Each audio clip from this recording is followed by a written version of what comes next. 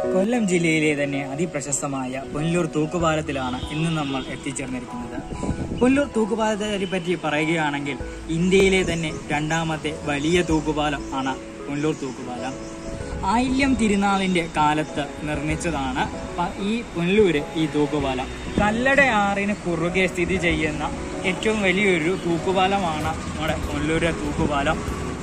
ആയില്യം തിരുനാളിന്റെ കാലഘട്ടത്തിൽ തമിഴ്നാടിനെയും മലയോര മേഖലയായ പുനലൂരിനെ ബന്ധിപ്പിച്ചുകൊണ്ട് ഒരു പാലം വേണമെന്ന ആവശ്യം ദിവാൻ നാണുപിള്ളയാണ് ആയില്യം തിരുനാളിനെ അറിയിക്കുന്നത്.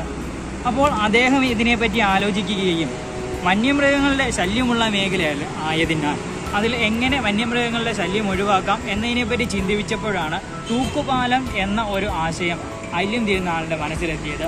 ആൽബർട്ട് ഹെൻറി എന്ന അതിവിദഗ്ധനായ ബ്രിട്ടീഷ് എഞ്ചിനീയറാണ് ഈ തൂക്കുപാലത്തിന്റെ നിർമ്മാണത്തിന് മേൽനോട്ടം വഹിച്ചത്. എന്നാൽ നമുക്ക് അഭിമാനമായ മറ്റൊരു കാര്യം അതീവ ബുദ്ധിമാനായ കേരളത്തിന്റെ തന്നെ ഒരു കൊല്ലനാണ് ഇത് നിർമ്മിച്ചത് എന്നതാണ് ഇതിന്റെ ഏറ്റവും പ്രധാനപ്പെട്ട മർമ്മപ്രധാനമായ ചില അതിന്റെ പണികൾ അറിയാവുന്നത് നമ്മുടെ കേരളത്തിലെ ഒരു കൊല്ലനായിരുന്നു. അദ്ദേഹമാണ് ഇതിന്റെ ഏറ്റവും അവസാനത്തിൽ ആണിയിട്ട് ഇതിനെ ഉറപ്പിച്ചത്. അദ്ദേഹത്തെ കൊന്നു കളയാനായിരുന്നു എല്ലാവരും നമ്മുടെ പുല്ലൂർ നമുക്ക് കിട്ടിയ അറിവാണ്. ഇതിനെ ആ കൊല്ലനെ കൊന്നു കളയുക എന്നതായിരുന്നു അവസാന കാലത്തെ ഇവരുടെ ഉദ്ദേശം.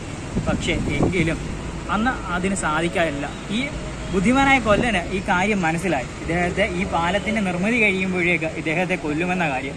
അതുകൊണ്ട് തന്നെ ഇദ്ദേഹം പാലം പണി നീട്ടിക്കൊണ്ടു പോവുകയും അവസാന സമയത്ത് ഈ പാലം പണിത് അതായത് ബ്രിട്ടീഷുകാരില്ലാത്ത സമയത്ത് പാലത്തിന് ലോക്കിടുകയും ലോക്കിട്ടിട്ട് ആ കൃത്യസമയത്ത് ഇവിടുന്ന് രക്ഷപ്പെടുകയാണ് ചെയ്തത്. അങ്ങനെയാണ് ഈ പാലത്തിന്റെ അവസാനത്തെ ഏറ്റവും അവസാനത്തെ നാല് കിണറുകളിലായി ആണി ഉറപ്പിച്ച് നിർത്തിയിരിക്കുന്നത്. ഇതിന്റെ മറ്റൊരു പ്രത്യേകത എന്ന് പറയുന്നത് ഒരു സൈഡിൽ നിന്ന് വണ്ടി കയറി വരുമ്പോൾ ഒരു സൈഡ് ചെറുതായി പൊങ്ങും.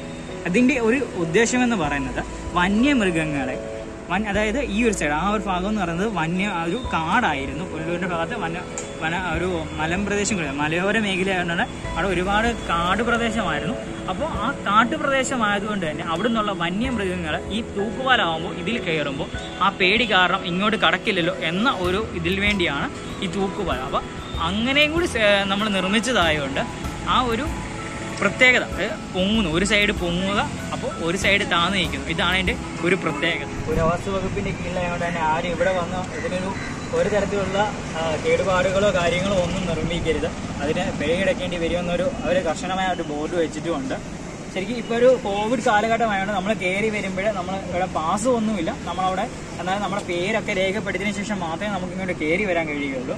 മറ്റൊരു പ്രത്യേകത എന്ന് പറയുന്നത് ഈ സൈഡുകളിലെല്ലാം തൂണി ലൈറ്റ് കൊടുത്തിട്ടുണ്ട് കാരണം രാത്രി കാലങ്ങളിൽ നമ്മൾ ആ പാലത്തേക്കൂടെ പോകുമ്പോൾ രാത്രിയിൽ ഇവിടെ സന്ദർശനം അനുവദനീയമല്ല. രാത്രി നമുക്ക് ആ പാലത്തേക്കൂടെ മുകളിലെ കാണുന്ന ആ കോൺക്രീറ്റ് പാലത്തിൽ കൂടെ നമുക്ക് പോകുമ്പോൾ നമുക്ക് ഈ ഒരു പാലത്തെ ആസ്വദിക്കാൻ വേണ്ടി ഈ പാലത്തിന്റെ ആ ഒരു ഭംഗി അതേ രീതിയിൽ തന്നെ നമുക്ക് കാണാൻ വേണ്ടി ഇവിടെ എല്ലാം ലാമ്പുകൾ കൊടുത്തിട്ടുണ്ട്. നല്ല നല്ല പ്രകാശമുള്ള ലാമ്പുകൾ കൊടുത്തേക്കുന്ന കാരണം തന്നെ നമുക്ക് ഈ ഒരു പാലത്തിന്റെ സൗന്ദര്യം നമുക്ക് രാത്രിയിലും ആസ്വദിക്കാം. പക്ഷെ പാലത്തെ കയറാൻ കഴിയില്ലെന്നേ ഉള്ളൂ ഈ ഏഹ്, ഇത് തിരുവിതാംകൂറിനാണോ ഈ ശംഖ് കൊടുത്തേക്കുന്നത് അതോ എഴുപത്തി ഏഴിലാണ് പാലം പണിയുന്നത്. നൂറ്റി നാൽപ്പത്തിയൊന്ന് വർഷമായി തിരുവിതാംകൂർ ആയിരത്തി തിരുനാളിന്റെ സമയത്താണ് ഇത് ബ്രിട്ടീഷ് എഞ്ചിനീയർ ആൽബർട്ട് എൻട്രി എന്ന് പറയുന്ന എൻട്രി ബ്രിട്ടീഷ് എഞ്ചിനീയറാണ് ഇത് എല്ലാം ചെയ്യുന്നത്. ബാക്കി മേശിമാരൊക്കെ നമ്മളെ ഇവിടുത്തെ തമിഴ്നാട് ആ ഈ സ്റ്റെപ്പെല്ലാം കെട്ടി റെഡിയാക്കി ഏറ്റവും അടച്ചിട്ട്. പക്ഷേ റോഡ് ഈ പാലം വരുന്നതിന് മുമ്പ് ഇത് നൂറ് വർഷം ബസ് ഓടിയതാ. നൂറ് വർഷം നൂറ് വർഷം നാൽപ്പത്തഞ്ച് വർഷം അടച്ചിട്ടുണ്ട് ആ. അപ്പോൾ ഈ ബസ്സൊക്കെ ഈ പാലം വന്നതിന് ശേഷം ഇത് ബസ്സോളം ബസ്സോളം നിന്ന് അത് കഴിഞ്ഞിട്ട് വീണ്ടും കെട്ടി അടച്ച് റെഡിയാക്കി അതാകുമ്പോൾ റോഡ് കണക്ക് ഇതിലാണ് അപ്പൊ വണ്ടികളെല്ലാം പോയിക്കൊണ്ടിരുന്നത് പാലം റെഡി അപ്പൊ തമിഴ്നാടായിട്ടുള്ള എല്ലാ ചരക്ക് നീക്കങ്ങളൊക്കെ സിയുടെ കണ്ടത്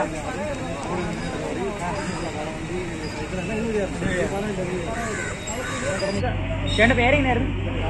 ഷാജി അപ്പോൾ ഷാജി എന്ന് പറഞ്ഞ ചേട്ടൻ നമുക്ക് ഇവിടുത്തെ കാര്യങ്ങളെല്ലാം പറഞ്ഞു തന്നേക്കുന്നത് ശരിക്കും എല്ലാം കൊണ്ടും മൊത്തത്തിൽ ഇത് ശരിക്കും വിസ്മയം തന്നെയാണ്. എല്ലാ തരത്തിലും ഒരു വിസ്മയം തന്നെ ആണെന്ന് പറയേണ്ടിയിരിക്കും കാരണം നമ്മളതിന്റെ കാര്യങ്ങൾ കേട്ടപ്പോൾ കേരളത്തിൽ ഇത്രയും പഴക്കമുള്ള ഇത്രയും കാലങ്ങൾക്ക് മുമ്പ് തന്നെ ഇത്രയും സജ്ജീകരണങ്ങളോടുകൂടി ഒരു പാലം നിർമ്മിക്കുക എന്ന് പറയുന്നത്. അപ്പോൾ ശരിക്കും ആ രാജാക്കന്മാർക്കും നിർമ്മിച്ചവർക്കും എല്ലാം ശരിക്കും അവരൊക്കെ ഒരു ഭയങ്കര എക്സ്പെർട്ട് തന്നെ പറയേണ്ടിയിരിക്കുന്നു. അപ്പോൾ നമുക്കിനി അടുത്ത വീഡിയോയിൽ കാണാം. എന്റെ യാത്രകളും വിശേഷങ്ങളും ഇഷ്ടമായെങ്കിൽ നിങ്ങൾ ഈ ചാനൽ സബ്സ്ക്രൈബ് ചെയ്യാൻ മറക്കരുത്. കൂട്ടത്തിൽ നിങ്ങളുടെ അഭിപ്രായങ്ങൾ രേഖപ്പെടുത്തും